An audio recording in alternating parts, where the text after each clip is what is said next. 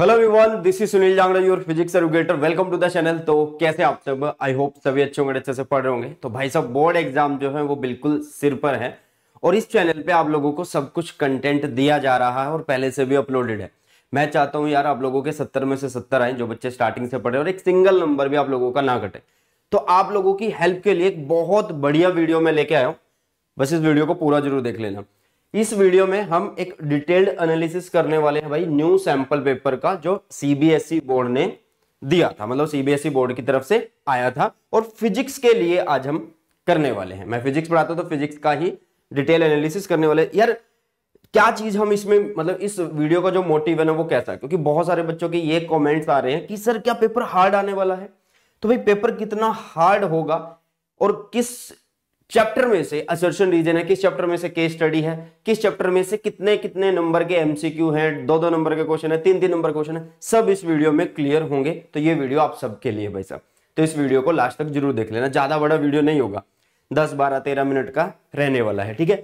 सबसे पहले मैं बोलूँगा कि यार टेलीग्राम चैनल जो है, सुनील जंगड़ा सर के नाम से फटाफट से इसको ज्वाइन कर लेना, क्योंकि जितना भी मेरा कंटेंट है ना भाई साहब, यहाँ पे पड़ा हुआ है, ठीक है? वो भी फ्री ऑफ़ कॉस्ट आप लोग देख सकते हैं। कई बार क्या होता है कि यूट्यूब की तरफ़ से नोटिफिकेशन नहीं आता है। बट वहाँ पे सबसे पहले नोटिफिकेशन पहुँच जाता है। ठीक है? तो भाई साहब, इसको ज़रूर से ज्वाइन कर लेना। बहुत ही ज़्यादा ज़रूरी है ये टेलीग्राम चैनल आप लोगों के लिए। अगर आप बोर्ड एग्ज़ाम 2024 की प्रिपरेशन कर रहे हो और क्लास ट्वेल्थ फिजिक्स के अंदर फोड़ना चाहते हो। ठीक है? चलो यार। तो सबसे पहले देखो, आज ये वीडियो जो बनाई जा रही है, क्यों बनाई जा रही है? बहुत सारे बच्चे ये पूछते हैं कि सर किस चैप्टर से सेशन रीजन आएगा, किस चैप्टर से केस स्टडी आएगा, या फिर ये क्वेश्चन है कि सीबीएसई ने कौन से चैप्टर से दिया हुआ मतलब बच्चों ने अभी तक यार ये सैंपल पेपर देखा ही नहीं, ठीक है? ऐसे बच्चे बहुत हैं जिन्होंने सैंपल पेपर नहीं देखा, और इसका मतलब ये नहीं है कि बाकियों ने भी नहीं देखा। बाकियों ने देख लिया होगा बट बहुत ज़्यादा बच्चे ऐसे हैं जिन्होंने सैंपल पेपर को अच्छे से एनालाइज नहीं किया भाई असर्शन रीजन किस चैप्टर से आए केस स्टडी किस चैप्टर से आए चैप्टर वाइज मार्क्स डिस्ट्रीब्यूशन आज समझने वाले और डिफिकल्टी लेवल क्या रहेगा? इस वीडियो में हम देखने वाले हैं भाई साहब, ठीक है? देखो यार, ये जो है ना ये ये सीबीएसई ने स्टार्टिंग में एक डिस्ट्रीब्यूशन जो है भाई दिया था मार्क्स का और चैप्टर्स के ना ग्रुप बनाए हुए थे, ठीक है? और फिजिक्स में चैप्टर के ग्रुप के हिसाब से ही मोस्टली सारी चीज़ें हम देखते हैं मार्क्स को देखते हैं। पहले तीन चैप्टर 16 नंबर के सीबीएसई ने बताए हुए थे अगले जो चार चैप्टर हैं, चार, पाँच, छह, सात, वो सत्रह नंबर के बताए थे। ठीक है? फिर आठ से दस चैप्टर जो अठारह नंबर के और ग्यारह से तेरह जो है, वो बारह नंबर के और लास्ट जो चैप्टर है फोर्टीन वो आपका सात नंबर का। ठीक है? तो ये एक जो है ना, ये ये आप बोल सकते हो कि चैप्टर का ग्रुप्स है है ना? मतलब देखो, पहला और तीसरा चैप्टर मतलब पहला, दूसरा, तीसरा, ये ग्रुप है, ये ग्रुप सोलह नंबर का है। फिर चौथे से लेके सातवां, ये सत्रह नंबर का आ रहा है। फिर ये आठवें से दसवें, ये अठारह नंबर के आ रहा है, ये ग्यारह से तेरह, ये बारह नंबर का आ रहा है, ये फोर्टीन जो है वो सेवंथ नंबर का आ रहा है। क्या भाई सीबीएसई ने सैंपल पेपर के अंदर ये चीज़ फॉलो करी है? क्या इसी तरीके से बिल्कुल हुबहू ऐसे ही ग्रुप्स में आया है मार्क्स डिस्ट्रीब्यूशन किसी चैप्टर का कम ज़्यादा तो नहीं हुआ। वो एक बार देख लेते और चैप्टर वाइज डिस्ट्रीब्यूशन भी हम देख लेंगे, ठीक है? चलो। अच्छा पेपर हमारा कितने नंबर का यार? सत्तर नंबर का आने वाला है। कितने नंबर का आने वाला बेटा? सत्तर नंबर का आने वाला ये सबको पता है। टोटल क्वेश्चन कितने होंगे? तैतीस, ठीक है? इनके अंदर, देखो क्वेश्चन तैतीस और तैतीस ही करने, अंदर चॉइसेस होंगी, ठीक है? तो इंटरनल चॉइसेस होंगी बीच में कुछ कुछ क्वेश्चंस के अंदर, जो पाँच नंबर वाले हैं, उनके अंदर मैं स्पेशली बता दूँगा कि हाँ यार, पाँच नंबर वाले में है। कितने सेक्शन आने वाले हैं? कितने सेक्शन आने वाले हैं? तो भाई A section B section C section and D section और ई e सेक्शन तो कितने हुए? One two three four five तो पाँच सेक्शन होंगे आपके क्लास ट्वेल्व फिजिक्स के जो पेपर आने वाला है उसके अंदर। पहला जो सेक्शन है उसके अंदर आने वाले हैं भाई एक एक नंबर के क्वेश्चन कितने? सोलह। एक एक नंबर के सोलह क्वेश्चन बी सेक्शन के अंदर दो दो नंबर के क्वेश्चन आएँगे, पाँच आएँगे। सी सेक्शन के अंदर तीन तीन नंबर के क्वेश्चन आएँगे और कितने आएँगे? सात आएँगे भाई साहब, सात क्वेश्चन आएँगे। ओके डी के अंदर यार दो क्वेश्चन आएँगे और वो चार चार नंबर के होंगे। मतलब टोटल आठ नंबर का डी सेक्शन होने वाला है। ठीक है? और इसमें ना केस स्टडी होंगे मैं आगे बताऊँगा। और लास्ट जो है ई e, वो है पाँच पाँच नंबर के क्वेश्चन आएँगे और कितने हैं? तीन आने वाले हैं। ठीक है? भाई समझ लो ए सेक्शन में एक एक नंबर क्वेश्चन बी सेक्शन में दो दो नंबर के सी में तीन तीन नंबर के और डी में चार नंबर के आएँगे। है ये एक एक नंबर के ही क्वेश्चन है क्योंकि ये केस स्टडी है उनके चार चार क्वेश्चन पूछे होंगे। ठीक है? तो एक तरीके से आप एक एक नंबर बोल सकते हो बट केस स्टडी दो आ रहे हैं तो वो चार चार नंबर के आ रहे हैं। लास्ट जो है वो पाँच नंबर का सेक्शन है। मतलब पाँच पाँच वाले क्वेश्चन आएँगे उसके अंदर। पाँच पाँच मार्क्स वाले क्वेश्चन आएँगे और कितने आएँगे? तीन आएँगे। ठीक है?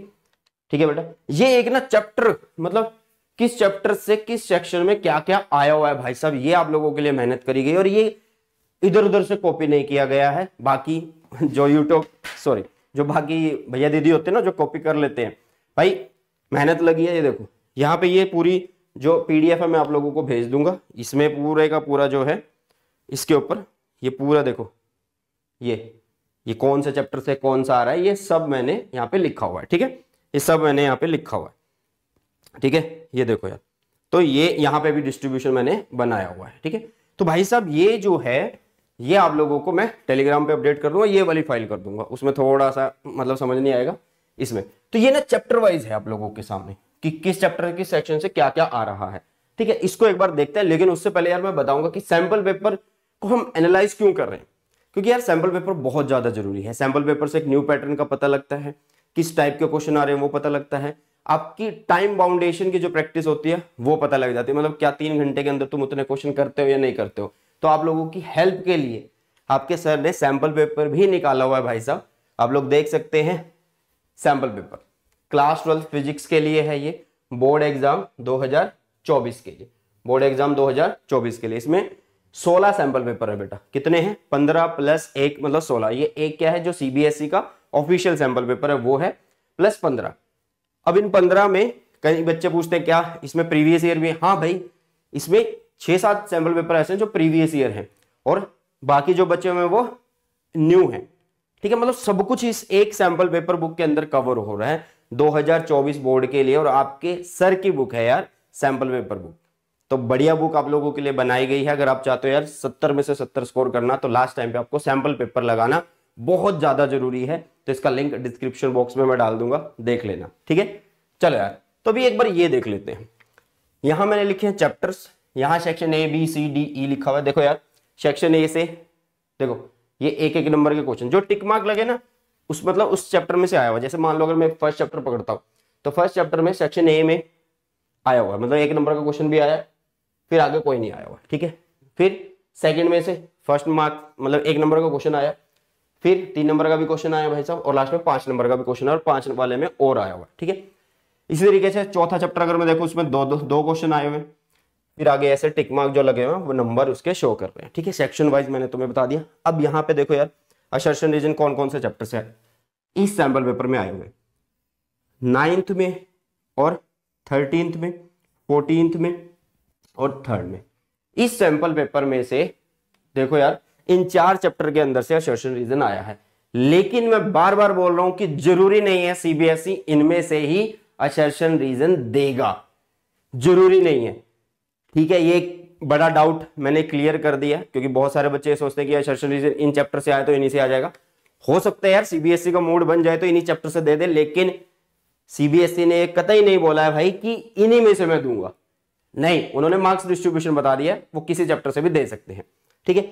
सिमिलरली केस स्टडी यार नाइन्थ चैप्टर से आया हुआ और फोर्टीन चैप्टर से आया हुआ है। नाइन्थ से आया हुआ और फोर्टीन से आया हुआ, ठीक है? बाकी मेरे ख्याल से सब कुछ मार्क्स डिस्ट्रीब्यूशन आप लोगों को समझ में आ रहा होगा, है ना? एक बार कैलकुलेट करते हैं। चैप्टर वाइज ना हर एक को देखते हैं। देखो, इसमें एक नंबर का एक क्वेश्चन है तो इसको हम बोलेंगे कि ये पहला चैप्टर एक नंबर का, ठीक है? अरे वाह मतलब ये क्या होगा एक नंबर ये रहा, तीन ये रहे, चार और पाँच। पाँच और तीन, आठ और एक, नौ। ठीक है? ये कितना है? एक, ये कितना है? दो। तो दो और एक, तीन छ तो देखो यार, यहाँ पे आप ऐसे कैलकुलेट कर सकते हो। तो नौ, एक नौ और एक, दस और एक सॉरी छ कितने हुए सोलह हुए ठीक है? नौ और एक, दस हो गए और साथ में छह तो सोलह हो गए। पहले तीन चैप्टर कितने नंबर के? सोलह नंबर के। तो देखो देखो देखो, एक कंफ्यूजन और दूर करूँगा। ग्रुप में सोलह नंबर का आ रहा है। अब भाई साहब, यहाँ पे जो सीबीएसई e ने सैंपल पेपर दिया ना, उसमें ये चैप्टर सिर्फ़ एक नंबर का आया। ये नौ नंबर का है, ये छह नंबर का है। तो भाई साहब, ये ज़रूरी नहीं है कि ये पेपर में भी ये एक नंबर का आने वाला है। क्या पता भाई साहब, ये नंबर नौ नंबर का आ जाए, क्या पता ये सात नंबर का आ जाए, बाकी कम नंबर के आ जाए। ऐसे डिस्ट्रीब्यूशन भी हो सकता है। तो मैं बार बार बोल रहा हूँ कि भाई साहब, हमें क्या करना है? चैप्टर वाइज नहीं जाना है। हमें चैप्टर वाइज नहीं जाना है, लेकिन मुझे ये बताना यार, फ़र्ज़ बनता है तुम्हें कि हाँ यार, इस चैप्टर से ये ये इतने इतने नंबर के आ रहे हैं। ठीक है? आगे भी देख सकते हो आप। आगे वालों को भी काउंट कर लो। चौथे चैप्टर की अगर मैं बात करूँ तो दो और तीन। पाँच हो गए। ठीक है? पाँच नंबर तीन नंबर वाला है ना ये? तो दो और दो चार, नहीं नहीं एक एक नंबर के वो हैं और हाँ ठीक है। एक एक नंबर के ये हैं तो इसमें और कोई नहीं है तो ये दो नंबर का हो गया, ठीक है। नेक्स्ट ये एक नंबर का, ये तीन नंबर का तो चार हो गए, ठीक है। नेक्स्ट सातवां, यहाँ पे एक नंबर और ये पाँच तो बारह। वो एक नंबर और ये पाँच, छह हो गए ना, चलो। तो ये हो गए छह, चार, दस, दो, बारह और पाँच, सत्रह। तो भाई ये देखो डिस्ट्रीब्यूशन सही है सीबीएसई e के अकॉर्डिंग जो ग्रुप वाइज या चैप्टर वाइज जो डिस्ट्रीब्यूशन या ग्रुप चैप्टर वाइज नहीं बोलेंगे। ग्रुप वाइज जो डिस्ट्रीब्यूशन बना रखा, वो बिल्कुल सही आ रहा है। तो ज़रूरी नहीं है कि बोर्ड एग्ज़ाम में भी ये चैप्टर पाँच नंबर का ही आएगा, ये दो नंबर का आएगा, ये छह चार नंबर का आएगा छह नंबर का आएगा। भाई साहब, ये कम ज़्यादा हो सकते हैं। तुम्हें ग्रुप वाइज डिस्ट्रीब्यूशन के हिसाब से स्टडी करनी है। ठीक है? तो ऐसे ही बाकियों को भी आप लोग जोड़ लीजिए। तो आठवां जो है भाई साहब, वो आ रहा है चार नंबर का। ठीक है? नौवा चैप्टर में ना एक थोड़ा सा कंफ्यूजन है बच्चों के माइंड में। देखो, ये एक नंबर का है, ये दो दो के हैं तो चार, और एक पाँच, और ये एक आ गया नौ, और एक यहाँ से आ रहा है तो फोर्टीन मार्क्स ये बन गए। सर, यहाँ से भी तो क्वेश्चन आ रहा है बट ये और में है भाई सर यहाँ पे और है। आप या यहाँ से करो या यहाँ से करो। मतलब या तो ये चैप्टर ज़ीरो नंबर का है सीबीएसई e के इस सैंपल पेपर में, या फिर आप उसको पाँच नंबर का काउंट कर सकते हैं। अगर आप यहाँ से पाँच नंबर का कर रहे हो तो आपको यहाँ से नौ नंबर का करना होगा। ठीक है? ओवरऑल जो देख देख रहे हो तो टोटल जो आ रहा है वो भाई अट्ठारह ही आ रहा है। ठीक है? ऐसे यार सबको आप लोग कर सकते हो।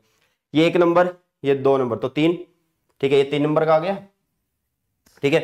नेक्स्ट आपका ये दो और ये तीन। पाँच हो गए। ठीक है? और लास्ट वाला ये असेशन रीजन एक यहाँ से और तीन यहाँ से। चार। तो ये हो गए बारह। तो बारह नंबर का ही ग्रुप था ये। और ये लास्ट वाला सात नंबर का था। ठीक है? क्या है ये चार नंबर का, ये दो छह और एक सात। तो भाई साहब चैप्टर वाइज डिस्ट्रीब्यूशन मैंने आप लोगों को बताया। अच्छा सैंपल पेपर बुक एक बार देख लेना, ठीक है? चलो यार तो ये देखो चैप्टर वाइज आप लोग देख सकते हो। पहला चैप्टर एक नंबर का, दूसरा चैप्टर नौ नंबर का, तीसरा चैप्टर छह नंबर का, चौथा चैप्टर पाँच नंबर का, पांचवा चैप्टर दो नंबर का, छठा चैप्टर चार नंबर का, सातवां चैप्टर छह नंबर का। आठवां चैप्टर चार नंबर का, नौवां चैप्टर या तो चौदह नंबर का या फिर नौ नंबर का। वो आप पे डिपेंड करते हैं। अगर आप फोर्टीन यहाँ से कर रहे हो तो यहाँ वाला ज़ीरो और ये वाला फिर अगर यहाँ से पाँच कर रहे हो, यहाँ वाला नौ लेकिन यार समझो, इस वीडियो का मोटिव क्या है? मैं तुम्हें क्या बोल रहा हूँ कि हम जो फोकस करेंगे, वो यूनिट वाइज डिस्ट्रीब्यूशन जो किया हुआ ना सीबीएसई e ने, उसी पे ही फोकस करेंगे। हम ये नहीं सोचेंगे कि यार वेव ऑप्टिक्स में से तो ज़ीरो नंबर का आ सकता है। मतलब वेव ऑप्टिक्स को नहीं करेंगे तो कोई फ़र्क नहीं पड़ेगा। अरे नहीं सीबीएसई यहाँ पे कुछ भी झोल कर सकता है, वो अठारह को कुछ भी कर सकता है। वो अठारह को कुछ भी कर सकता है। वो क्या पता, सात नंबर का यहाँ से दे दे, सात नंबर का यहाँ से दे दे और चार नंबर का यहाँ से दे दे। ऐसे भी तो कर सकता है। उसको अठारह नंबर का देना है। तो मेरे ख्याल से बात क्लियर है सभी को कि किस तरीके से ये डिस्ट्रीब्यूशन है। आपको सिर्फ़ ग्रुप वाइज या फिर मैं बोलू यूनिट वाइज ही देखना है। ये केमिस्ट्री नहीं है कि हाँ यार हर एक चैप्टर के बता रखे तुम्हें ये चार नंबर का है, तीन नंबर का है, दो नंबर का नहीं ऐसा नहीं है, ठीक है? और ना ही फिक्स्ड है कि सेशन यहीं से आएगा के स्टडी यहीं से आएगा, ठीक है बेटा? चलो तो ये है डिस्ट्रीब्यूशन अब मैं जो एक्चुअल में मैंने जो चीज़ देखी है यार, इस पेपर के अंदर, कि क्या ये पेपर यार मुश्किल है? क्या सीबीएसई पेपर ज़्यादा मुश्किल देगा? सबसे पहली बात, कुछ पॉइंट्स में आप लोगों को बता देता हूँ। यार सीबीएसई बोर्ड e का जो रिज़ल्ट है, वो बहुत अच्छा आता है, हर बार अच्छा आता है। और खासकर फिजिक्स में ये होता है कि जो पेपर है उसका अगर डिफिकल्टी लेवल अगर आ भी जाता मतलब अगर इजी टू डिफ़िकल्ट आ गया मतलब बिल्कुल हार्ड पेपर आ गया, बच्चों को हार्ड लग रहा है तो वो सबके लिए हार्ड है और उसमें फिर चेकिंग उसी हिसाब से होती है मतलब इजी अरे चलन दे चलन दे, ऐसे वाली होती है। तो डरने की ज़रूरत नहीं है। दूसरी बात कि भाई, जो मैंने यहाँ पर स्टडी करी है तो पेपर आपका इजी टू मॉडरेट जा रहा है, ठीक है? इजी टू मॉडरेट मतलब एवरेज सा पेपर है। ना ज़्यादा आसान है, ना ज़्यादा मुश्किल है, बीच सी का पेपर है। ठीक है बेटा? बट इसका मतलब ये नहीं है कि तुम्हें ये पढ़ना, भाई सर ने बोला था बीच सी का पेपर आएगा ठीक ठाक सा पेपर आएगा तो इसलिए छोड़ देते हैं पढ़ना। भाई पढ़ना फिर भी है, क्योंकि हमें भाई सब मुश्किल की तैयारी करनी है। बिल्कुल मुश्किल की हार्ड तक की तैयारी करनी है। इजी आ जाए मॉडरेट आ जाए, क्या ही फ़र्क पड़ेगा, जब हमने हार्ड की तैयारी कर ली है। ठीक है बेटा तो ये है आप लोगों का जो सीबीएसई e ने सैंपल पेपर दिया था, उसका डिटेल्ड एनालिसिस इसको मैं टेलीग्राम पर डाल दूँगा। ठीक है आप लोग एक बार देख लेना। अगर आप लोगों को लगता है कि सर किसी और आ, मतलब किसी और सब्जेक्ट का भी अगर आप तुम्हें डिटेल एनालिसिस चाहिए तो उसके लिए मैं टेलीग्राम पे एक पीडीएफ डाल दूँगा कि हाँ यार बट वीडियो नहीं बनाऊँगा उसके ऊपर ठीक है? क्योंकि यार मैं फिजिक्स पढ़ाता तो फिजिक्स के ऊपर ही फोकस करेंगे हम ओके तो टेलीग्राम चैनल है इसको ज्वाइन ज़रूर कर लेना। साथ में यार आप लोगों को मैंने बुक बता दी है कि कौन सी बुक आप लोगों को क्लास ट्वेल्थ फिजिक्स के सैंपल पेपर में यूज़ करनी है। सस्ती सी बुक है। 230-40 कुछ की है मेरे ख्याल से। देख लेना। लिंक डिस्क्रिप्शन में है। ओके चलिए इसी के साथ इस वीडियो सेशन को करते हैं समाप्त। मिलते हैं जल्दी से नए सेशन में। सो वो टेक केयर जय हिंद। वंदे मातरम।